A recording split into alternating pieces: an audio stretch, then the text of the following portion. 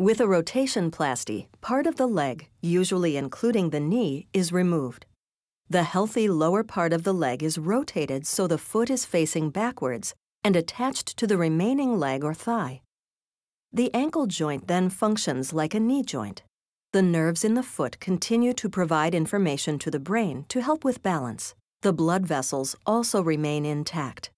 This operation is typically performed on children between the ages of 5 and 12. The goal is for the repositioned ankle to be at the same level as the opposite knee when the child is fully grown. Sometimes an additional a little different, but that I was still the same person I'd always been. And for me, I didn't even think about the fact. Muscles in the ankle joint must be gradually stretched through exercise and physical therapy before work on a prosthesis can begin. The prosthesis fits over the foot and extends up the thigh.